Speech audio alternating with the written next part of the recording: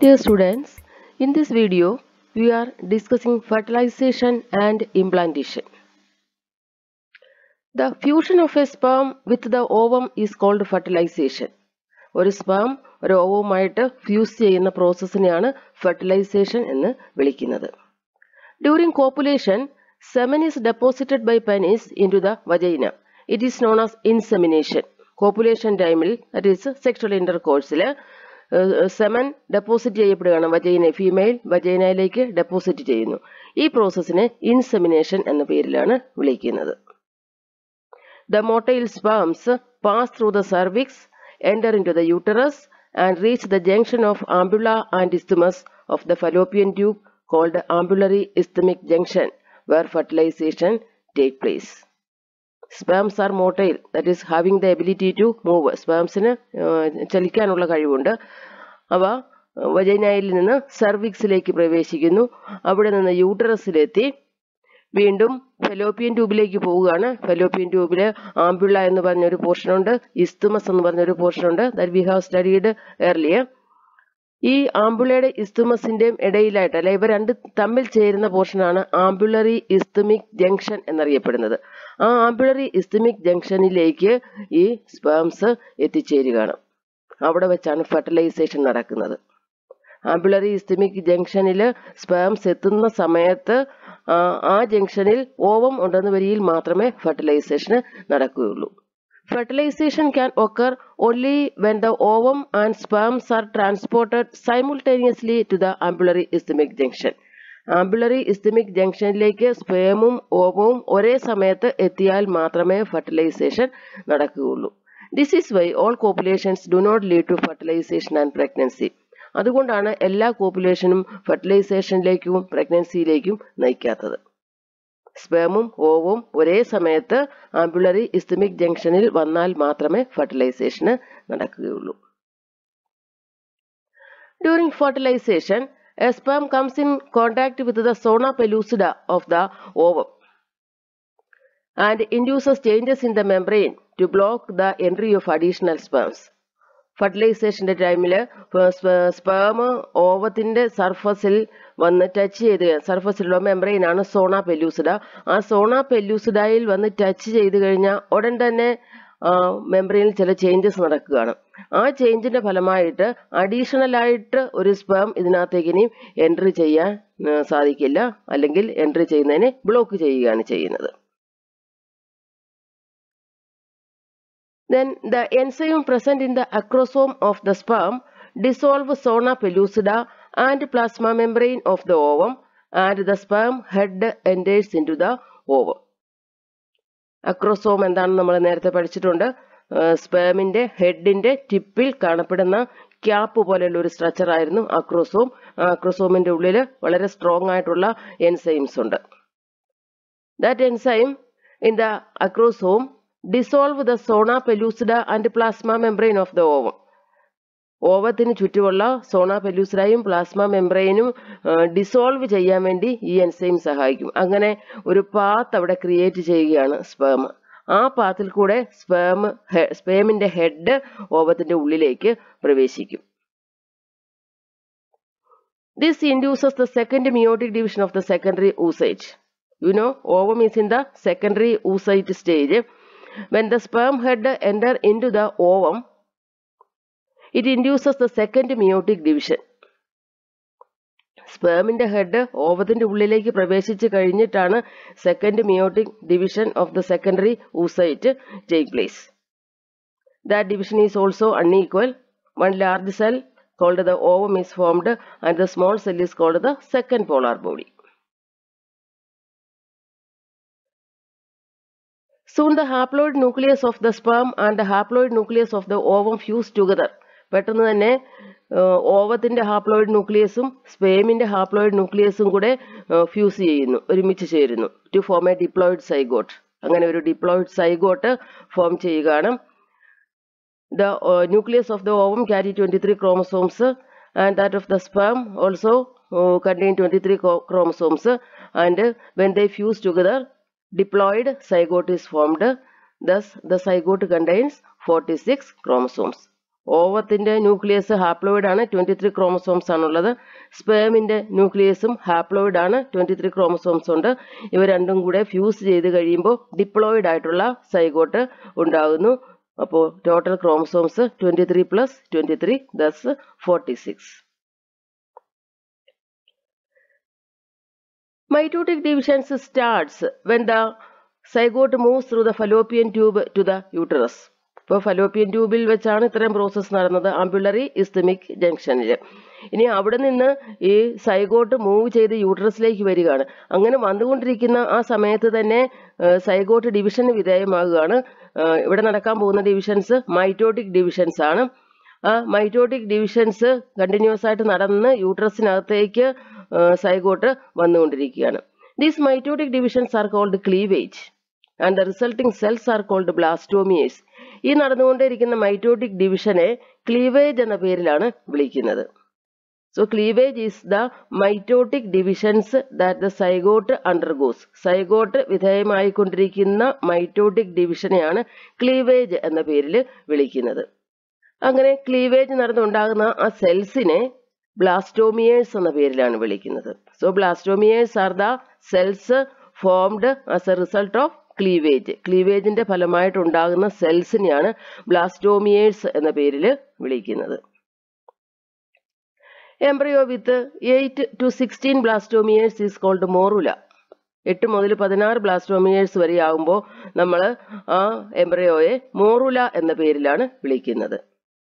The morula continues to divide and transforms in to blastocyst morula cells അല്ലെങ്കിൽ blastomeres വീണ്ടും divide ചെയ്തുകൊണ്ടേ ഇരിക്കുകയാണ് അങ്ങനെ ബ്ലാസ്റ്റോസിസ്റ്റ് എന്ന ഒരു സ്ട്രക്ചറിൽ എത്തിച്ചേരും യൂട്രസിൽ എത്തിക്കഴിയുമ്പോഴേക്ക് structure of a blastocyst is given here. Here we can see the blastomeres in the blastocyst are arranged to an outer layer called trophoblast and an inner cell mass. ബ്ലാസ്റ്റോസിസ്റ്റിൽ ഔട്ടർ ലെയറിൽ ഒരു cellular layer ഉണ്ട്. That is called trophoblast and here we can see an inner cell mass the inner cell mass get differentiated to embryo ഈ inner cell mass ആണ് embryo ആയിട്ട് ഇനി വളരാനായിട്ട് പോകുന്നത്. And the trophoblast provide nutrition to the developing embryo before implantation അപ്പൊ ഇത് യൂട്രസിൽ attach ചെയ്യുന്നതിന് മുമ്പ് ഉള്ള സമയത്ത് ഇന്നർ സെൽസിൻ സെൽമാസിന് ആവശ്യമായിട്ടുള്ള ന്യൂട്രിയൻസ് കൊടുക്കുന്നത് ഈ ട്രോഫോ ബ്ലാസ്റ്റ് എന്ന് പറയുന്ന ലെവറിൽ നിന്നാണ്. ഇനി ഇംപ്ലാന്റേഷൻ കഴിയുമ്പോൾ ഈ ട്രോഫോ ബ്ലാസ്റ്റ് പ്ലാസന്റയുടെ ഒരു ഭാഗമായിട്ട് മാറും. അതുപോലെ തന്നെ ഇംപ്ലാന്റേഷന്റെ ടൈമിൽ യൂട്രസിന്റെ വോളിൽ അറ്റാച്ച് ചെയ്യുന്നതും ഈ ട്രോഫോബ്ലാസ്റ്റ് എന്ന layer ആണ് so the inner cell mass get differentiated to embryo and the trophoblast provide nutrition to the developing embryo before implantation after implantation it becomes a part of placenta the trophoblast layer gets attached to the endometrium trophoblast layer ആണ് എൻഡോമെട്രിയത്തിലേക്ക് attach ചെയ്യുന്നത് The cells of the uterus divide rapidly and cover the blastocyst. അപ്പോൾ trophoblast layer എൻഡോമെട്രിയത്തിലേക്ക് attach ചെയ്ത് കഴിയുമ്പോഴത്തേന് യൂട്രസിന്റെ cells പെട്ടെന്ന് divide ചെയ്ത് ഈ ബ്ലാസ്റ്റോസിസ്റ്റിനെ അങ്ങ് കവർ ചെയ്യും. Thus the blastocyst get embedded in the endometrium of the uterus അങ്ങനെ ബ്ലാസ്റ്റോസിസ്റ്റ് എൻഡോമെട്രിയത്തിന്റെ അകത്തായിട്ട് മാറുകയാണ്. This process is called implantation ഇതിനെയാണ് ഇംപ്ലാന്റേഷൻ എന്ന് പറയുന്നത്. അതായത് the blastocyst get embedded in the endometrium of the uterus this process is called implantation the process of embedding the blastocyst in the endometrium of the uterus this is called implantation here we can see uh, a diagram here here from starting from the ovulation this is the ovum a is the ovum then b fertilization that is shown here sperm entering into the ovum. Here fertilization and zygote formation. C two celled stage that is after cleavage two cells are produced. Then d the four celled stage this is the d four celled stage. Then e represents uh, uh, morula 8 to 16 uh, blastomeres are there. Then blastocyst blastocyst get embedded in the endometrium that is implantation Here blastocyst is given. This blastocyst is here.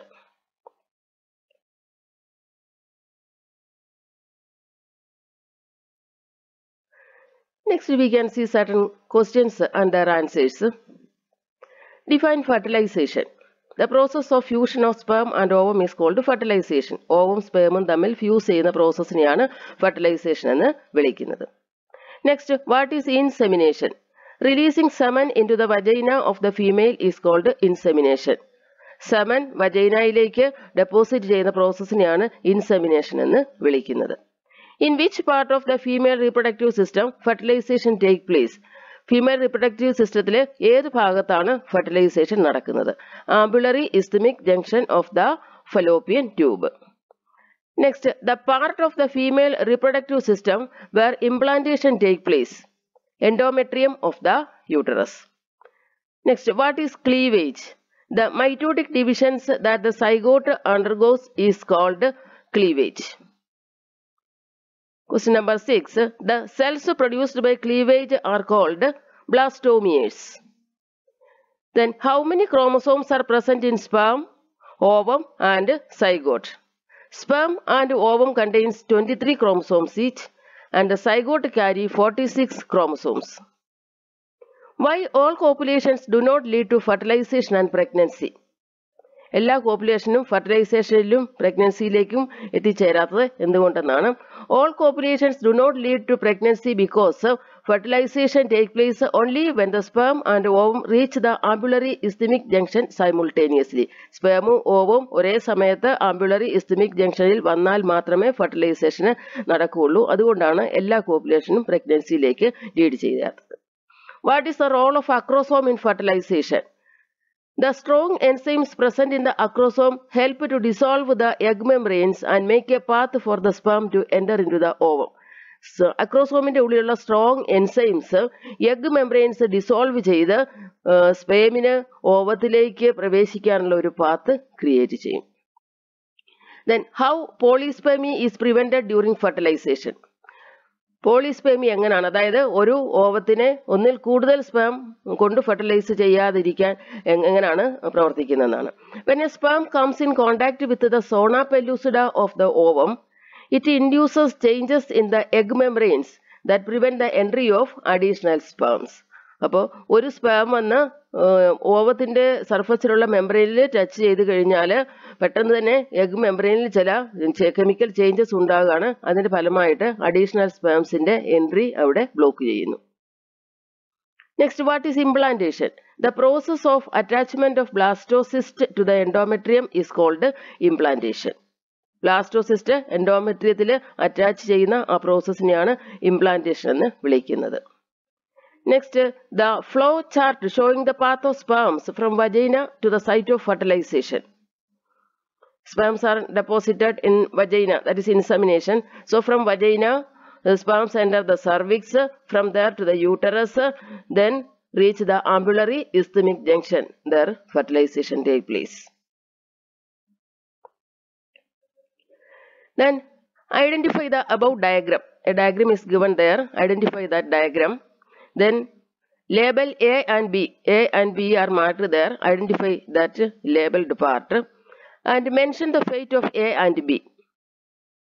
Answer is the above diagram is blastocyst.